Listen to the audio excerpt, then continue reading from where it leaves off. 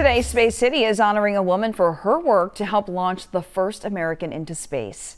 This morning, NASA's Johnson Space Center named one of their buildings in her honor.